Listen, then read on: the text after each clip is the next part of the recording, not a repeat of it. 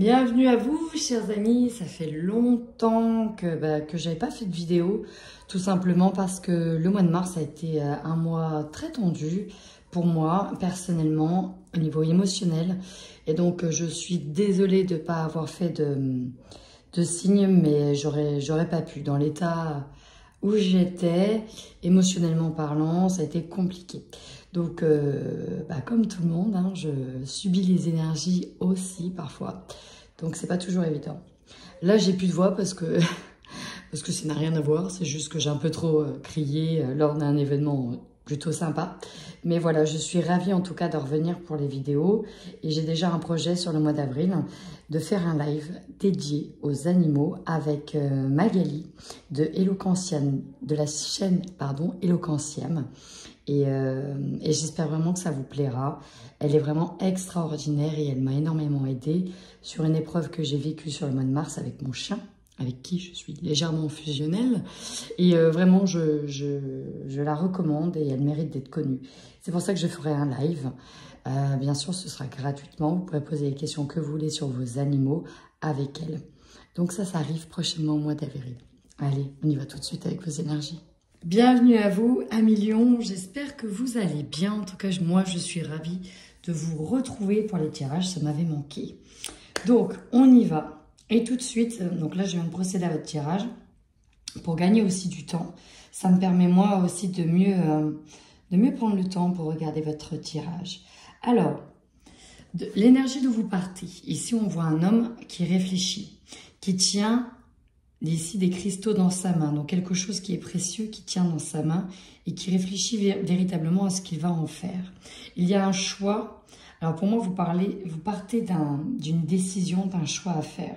Ce que je ressens vraiment, c'est qu'il y a un plan qui est en train de se mettre en place sur qu'est-ce qu'on va faire, qu'est-ce qu'on va prendre comme, comme chemin. Et je suis beaucoup dans le relationnel. Je regarde ensuite vos cartes. Et là, on voit bien qu'il y a quelque chose qui va être lâché, en tout cas sur le mois d'avril. Vous êtes amené à lâcher quelque chose. Alors, vous allez peut-être traverser un moment peut-être pas très très sympa sur le coup, hein, avec la tempête en vue, ou alors vous l'avez traversé, ou vous êtes encore en plein dedans. En tout cas, ça c'était mon énergie sur le mois de mars. Mais passons. On voit que vous pouvez culpabiliser par rapport à une décision à prendre. Je vous sens, euh, moi ce que j'ai, c'est c'est peur d'abandonner, d'avoir de lâcher quelque chose sur lequel vous avez fondé de l'espoir. Il y a peut-être encore un, peu de sentiment de dépendance affective, peut-être peur aussi de se retrouver seul, peur de faire du mal. Il y, a, il y a beaucoup de peur visiblement en lien avec le fait de se détacher d'une situation. Et là, on voit sur le mois d'avril, en tout cas, que vous démarrez avec les énergies complètement euh, instables, c'est ça, hein, c'est des énergies instables. C'est pas stabilisé parce qu'ici on a peur, en tout cas de, de laisser quelqu'un. C'est vraiment ça. On a peur de laisser quelqu'un ou en tout cas de se retrouver seul. C'est un des deux. Et là, je suis plus connectée avec celui qui va partir et tout quitter et tout lâcher. Hein. c'est un peu ça que, que je ressens. On voit bien en carte centrale que vous devez couper ce lien-là.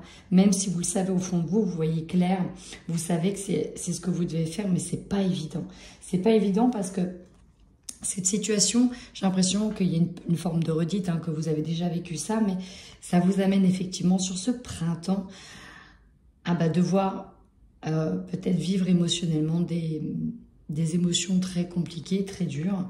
Ici, avec la souffrance émotionnelle, on peut on peut aussi dire que vous êtes peut-être rendu malade, vous vous rendez malade par rapport à une situation que vous avez du mal à lâcher. Pourquoi vous avez du mal à lâcher? Parce que vous n'avez pas confiance en vous. En fait, j'ai l'impression ici que j'ai des lions qui sont toujours, pourtant c'est lion, hein. lion c'est censé être le signe de, de, celui qui se montre, qui a confiance en lui, euh, qui, qui, va vraiment avec, euh, avec fougue. Euh, je, je cherche les mots et en fait, celui qui va de l'avant, celui qui prend les choses en main, celui qui est presque leader. Et là, c'est comme si vous étiez effacé, vous avez dû vous effacer. Il y a quelque chose qui, vous retient, on vous demande de couper. Alors, ça peut jouer au niveau de la famille, hein. ça peut être en lien avec votre famille, on peut parler ici de séparation avec la famille, de séparation avec quelqu'un, ça peut être de lâcher une situation et de devoir aller de l'avant. On voit bien que c'est compliqué. Ce qui va peut-être vous aider, ça va être l'aspect financier. Là, vous allez en tout cas sur quelqu'un qui euh, reprend une organisation financière, qui peut-être compte, qui peut-être calcule, organise. C'est vraiment ça. Et c'est aussi euh, ce que j'ai eu avec le, message de mes guides, c'était vraiment de, de tout nettoyer, de reprendre en main les choses et de se délester de ce qui nous encombre. Et là, vraiment, c'est ce qu'on vous demande ici, de lâcher des choses qui vous font peur, peut-être même des objets qui, qui vous rappellent quelqu'un, de tout lâcher. Ça n'a plus d'importance. Gardez uniquement le concret. Alors, on voit bien que vous recevez des signes, hein, pour beaucoup, avec ce passage euh, d'éveil en ce moment. Euh, vous voyez clair, vous avez des signes, vous avez des intuitions, vous avez peut-être même des flashs euh, de vie future ou de, ce qui arrive. En tout cas, vous êtes en plein nettoyage des Amiens. Nettoyage de la lignée, on revient, on, on sort des blocages. On vous dit aussi que vous êtes protégé. Alors, ce que j'ai également ici, c'est ça. Peut-être une petite tempête en vue où on vous amène ici vraiment à être dans l'action, d'arrêter de réfléchir et de maintenant de passer à l'action. Et on vous dit que c'est pour la guérison. Vous allez vers un bonheur. Et vous voyez, la fenêtre est ouverte. Ne restez plus à l'intérieur et sortez. C'est vraiment un super beau message. Vous avez des intuitions, on vous guide à prendre cette voie. Vous le savez maintenant. Et euh, il n'y a plus qu'à. Alors quand je dis il n'y a plus qu'à, hein, c'est toujours facile. Mais voilà, c'est vraiment ce que je ressens. Allez, on y va tout de suite avec la guidance générale des amis.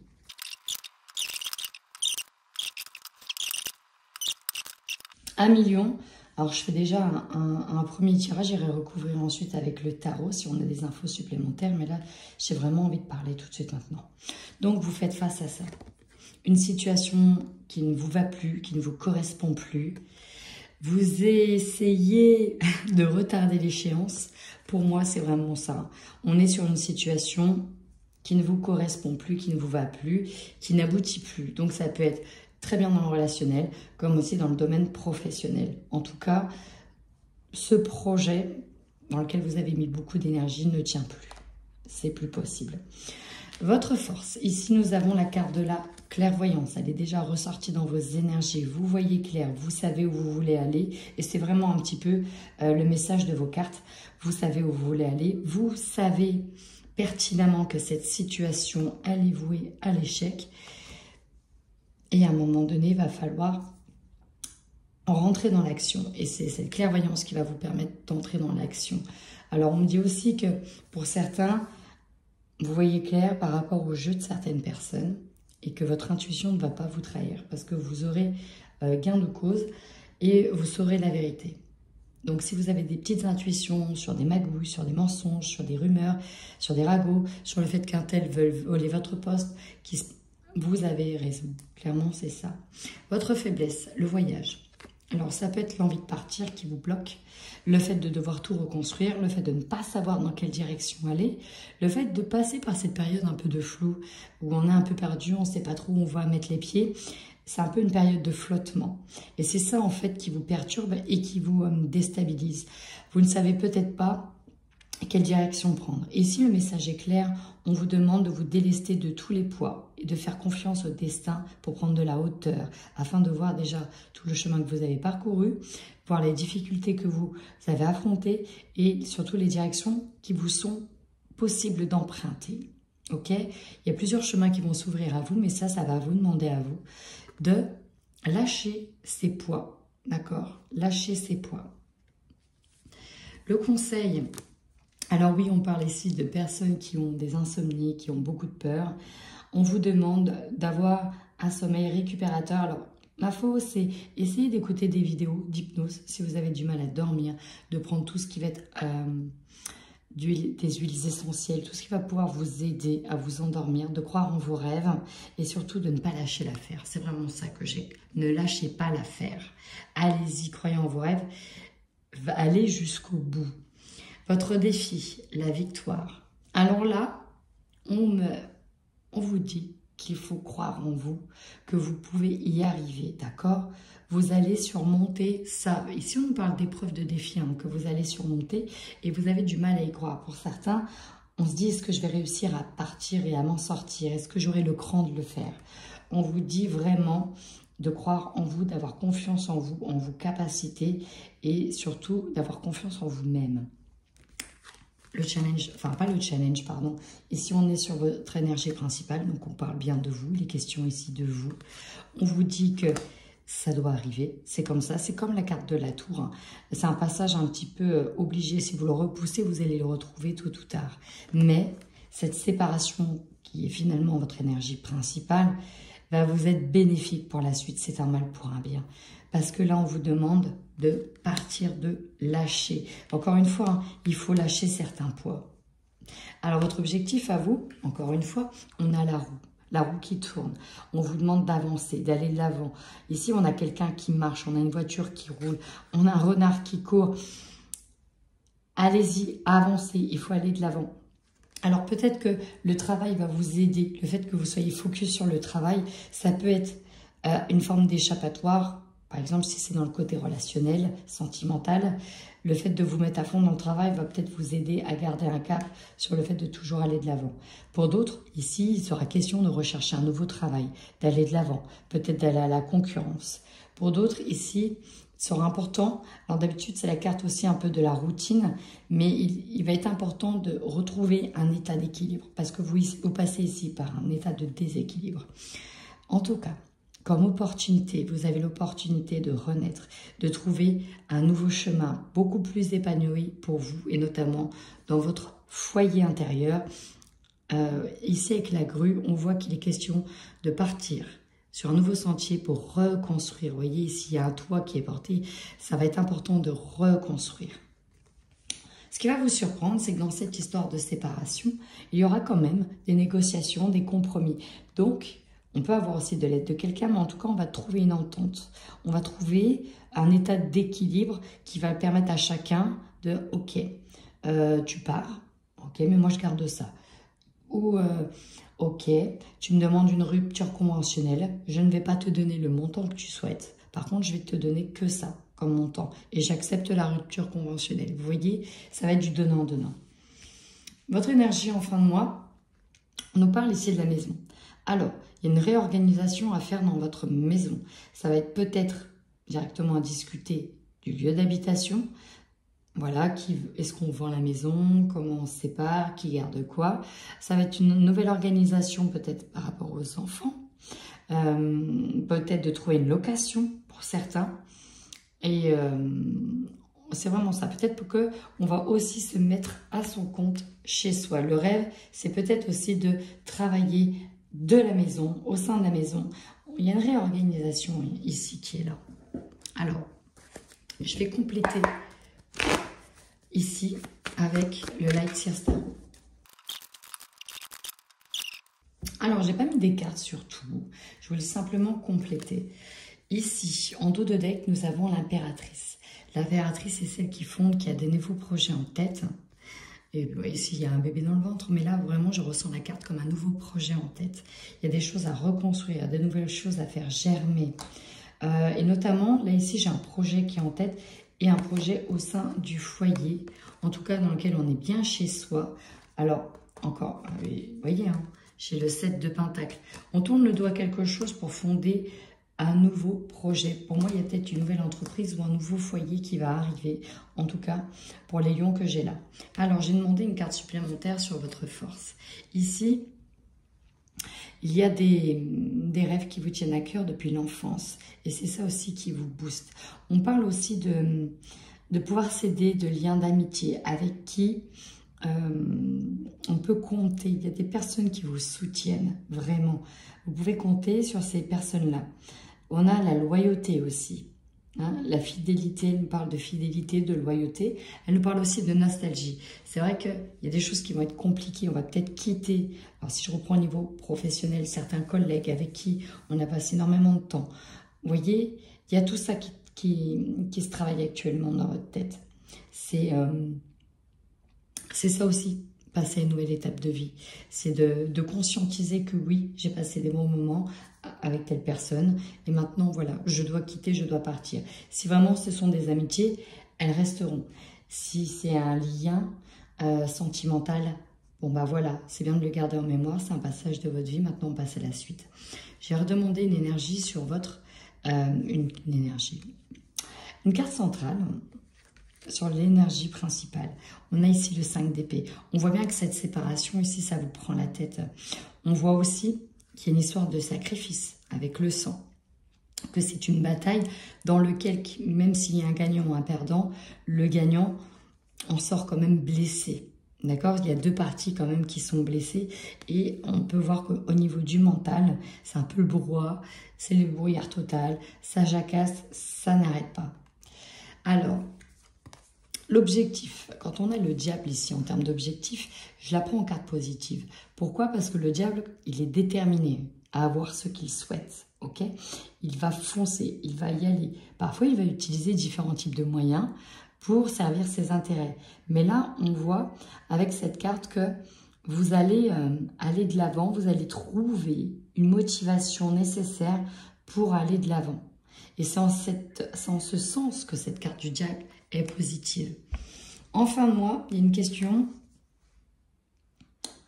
Alors, Ici, on était sur une question de partager peut-être, donnant-donnant. Et là, il y a l'idée de plutôt conserver ce que l'on a acquis. Conserver ses biens, conserver ce que l'on a acquis. Il y a cette sensation de ne pas partager ici dans cette carte. Et donc, il y a des choses auxquelles vous allez faire face. Euh, je suis prêt à faire certains sacrifices, mais attention, certaines choses, il va pas falloir y toucher. Et on voit bien pourtant que ça peut être ça qui va être compliqué. À un moment donné, j'ai le 9 de coupe renversé. Donc là, vous voyez, on a pratiquement tout. Hein. Euh, on trempe dans l'or, dans l'argent. Et là, c'est renversé. Donc, il y aura peut-être des concessions à faire. Ça, c'est sur la fin de mois. Et eh bien, c'est un sacré tirage, mes amis Lyon. Sacré tirage. On y va tout de suite pour le sentimental. C'est parti pour le sentimental et je démarre avec les couples.